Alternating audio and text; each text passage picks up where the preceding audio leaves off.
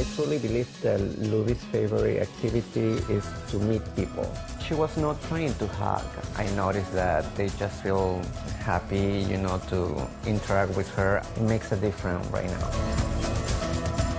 His Instagram is Pierre Don't Care for a reason, and that includes wearing wacky outfits. Pierre loves people, so I looked into a therapy dog program, and Pierre tested, and he passed the certification the first time, and he just kind of was meant for this.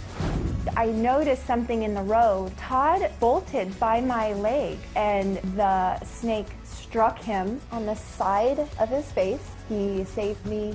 He's my hero, and I couldn't imagine my life without him.